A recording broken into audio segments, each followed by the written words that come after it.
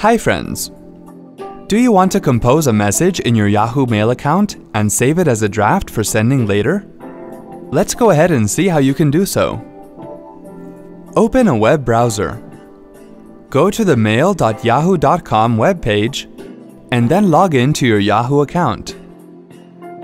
On the Mail page, click on the Compose icon from the left pane to open the Compose New Email page.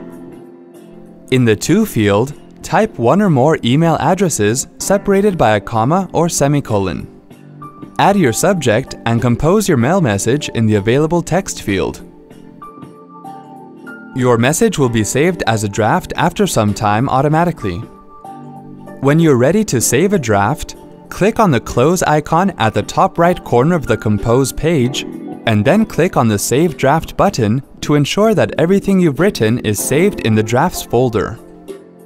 Yahoo Mail saves the email message in the Drafts folder and displays the folder's contents. Hope this was easy to follow. Thanks for watching.